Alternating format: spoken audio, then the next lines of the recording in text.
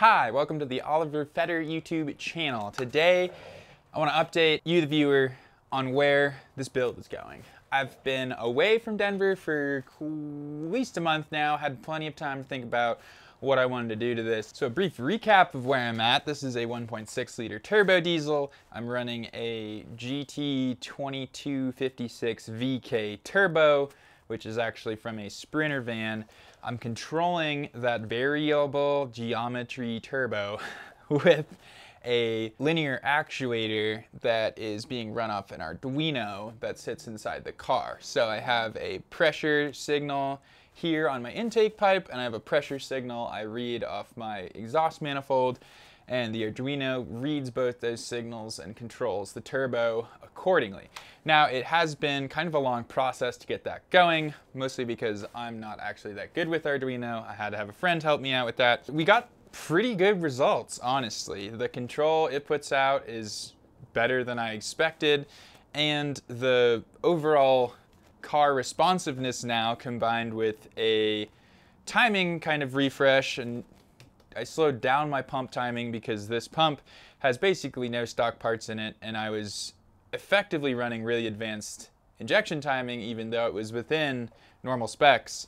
So between slowing down the injection timing and the VNT turbo and the 10 millimeter head I put on, all those things have been working together really nicely lately uh, and kind of producing a tapped fast 1.6 liter. Like four years ago, five years ago, think maybe even six years ago when I first got a Volkswagen. I started with a naturally aspirated V-dub that was my daily driver and it has been my aspiration for this entire time to make it go fast and it feels like I'm having this lucid dream because it now actually is pretty fast relative to where I started. I mean, relative to where I started, it's a supercar.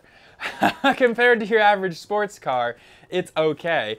Uh, but, so I'm stoked on where I'm at, and then I'm looking to refine that. So this engine also suffered a turbo casualty last fall, which is not a surprise because that seems to be how I kill all my motors. Um, and I didn't rebuild it or anything this time.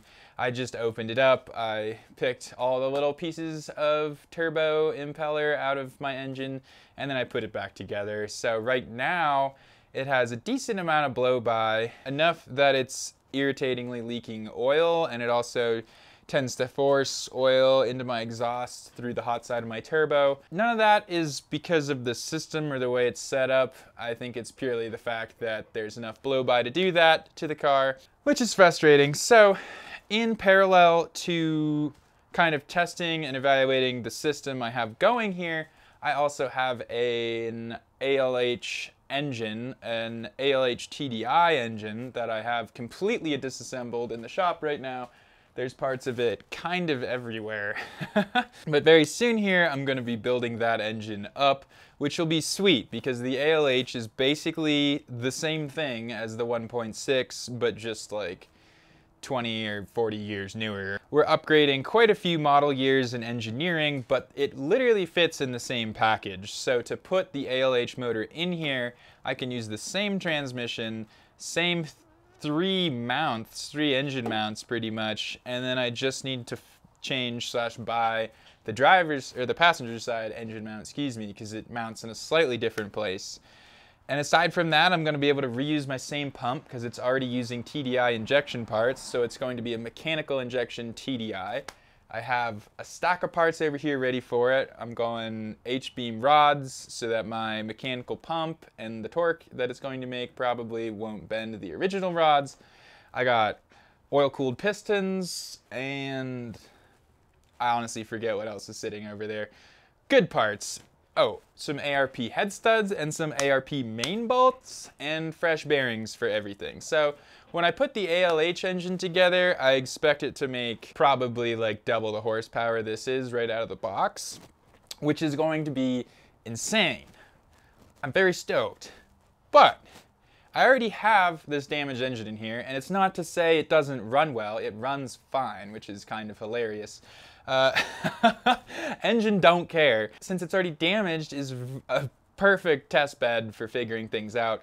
So before I take my sketchy VNT turbo system and put it on an engine I just spent $3,000 in parts on, I want to finish tuning it, finish tuning my turbo system specifically, the fueling, the timing, all that stuff, because it will just carry over one to one onto the ALH engine. So right now I'm at an interesting crossroads. I have these parts everywhere. I have all the new parts to put in the motor that I want to replace this motor with, but then I'm not quite done tuning this yet. So I think kind of two things. On the one hand, I don't want to build the ALH engine up too soon and then have it sit because you never want an engine just to sit. That's literally never good for them. And on the other hand, I don't want to not build it because it's getting scattered in here. There's parts everywhere. So I think the plan is now to go ahead and build my short block. So put the crank in it, put the rods and pistons in it, measure my piston protrusion, get the head gasket ordered. And then when, as long as the short block is together, that's the large portion of things that are kind of laying around in the shop, which also requires a quick hone.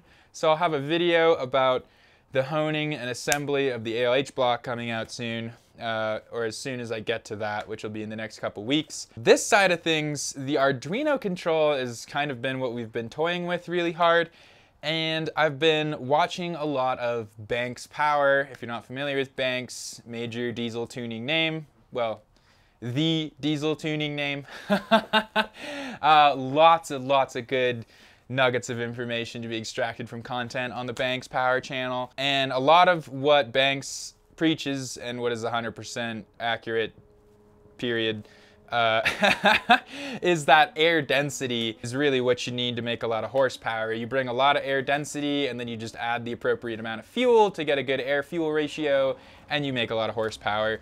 So one of the limitations we have with the Arduino right now is I actually have a thermocouple hooked up here with a pressure sensor because I wanted to measure air density just before the intake. And it turns out with this particular Arduino, we can't run a thermocouple program and also control my linear actuator at the like latency level we want to do. So right now it's just running the actuator, not logging any density data. Additionally, I feel like the Arduino can be a bit glitchy on the control side of things. Its response time isn't quite as fast as I like, which leads to some spikes sometimes and like excessive drive pressure other times. And I don't really feel like I can lean on it 100% in its current state. That's not to say we couldn't solder some connections, kind of flush out those problems, but I think before I spend a lot of time doing that and fully commit to this being an electromechanical control system, I want to try the full mechanical control system. So the reason I hit you with the sponsor blurb is because Dave at Union Coffee is actually going to provide the funding for me to get the Go Fast Bits V2 boost controller. You just go to our sponsor of this episode, Cart 999. This video is brought to you by Union Coffee Co. Dave, the owner of Union Coffee, is just creative enough and irrational enough to want to support someone like myself making an otherwise useless hunk of Volkswagen that goes fast. Uh, and he's very kind to do so, but he also gives me a discount code, which I will link his website and the discount code in this description and you can go there and if you enjoy coffee they make very very good beans in-house. Roasts they don't make the beans. Mother nature makes the beans. You supporting dave indirectly supports this build i would appreciate it if you checked it out. Which is a mechanical boost controller designed for controlling VNT turbos. I also happen to have a VNT 15 turbo that came off the ALH, which will give me access to its vacuum actuator. So I have the actuator from my VNT 15 turbo to put on my current turbo, and then I'm gonna pair that with the Go Fast Bits boost controller to control that mechanical vacuum actuator. So that I'm going to be doing kind of in tandem with rebuilding the engine, and I think I have a feeling it might work better than my Arduino setup, even though this has been pretty cool and pretty fun and it's interesting to tune it on your laptop. I'm excited to test it out. And so then we'll also see both ways of doing it. Like this was the Arduino way of doing it, and then I'll see the mechanical way of doing it. And I'm gonna pick whatever's better and more reliable, which I have a feeling might be the mechanical. That's not to say that the Arduino though is dead. No, Instead, I think I want to retask the Arduino. Remember how I said it couldn't run the thermocouples and the linear actuator at the same time? Well, now that it's not running the linear actuator, I want to put a pressure sensor and thermocouple at pretty much every point in my tract that I can. I'm thinking maybe one in my intake, so pressure and thermocouple, and then maybe one on before my intercooler and one after my intercooler. So effectively capturing how much air density each part of the system is contributing. And then that actually gives me enough data to start tuning stuff in a very real and legitimate way. Without that data, you're kind of shooting in the dark as opposed to what you're doing, especially when it comes to turbo and boost and intercooler and where the air is going and how effective any part of the system is. So that part of getting that data collection set up will be a little bit of a more lengthy process. Yet again, I will probably need to reach out to my friend Dave. Dave, not the coffee owner Dave, Dave, the Dave that helps me Professor Dave that helps me with Arduino stuff, and we'll get that data collection going on a bunch of points. So we have actual tuning feedback data coming in, a mechanical boost controlling setup that's Bomber and allows the Arduino to be used otherwhere, and then with that setup, I want to push this engine with those things in place until something breaks. That's my plan. Once once everything's in there and it's not going to be a stupid failure, like I don't want to blow the turbo again. I've done that enough times.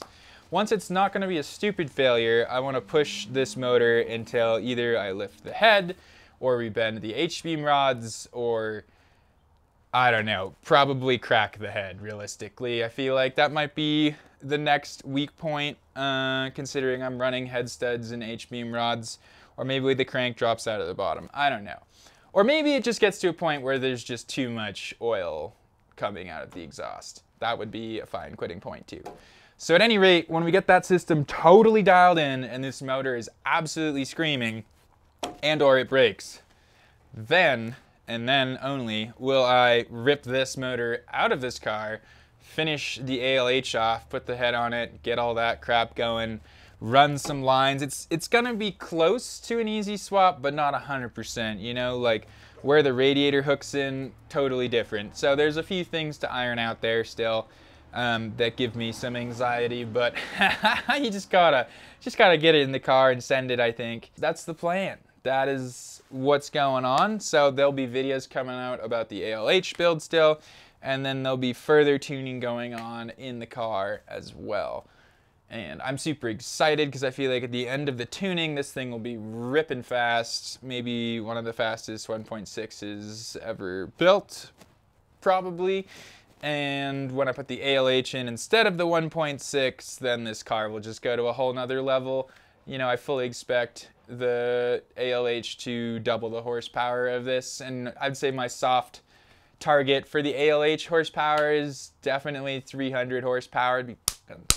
Just spin tire all the time, which will lead to a whole new set of problems like how do I put the power down? How do I not have tire slip all the time? Whatever. Great problems to have. So if you're down for a very science-based tuning exploration of this engine, but also diesel engines in general, and a few engine builds, stick around. That's what I'll be doing coming very soon. Appreciate you. Thanks for watching hit a like button and subscribe if you feel like it. Have a nice day out there.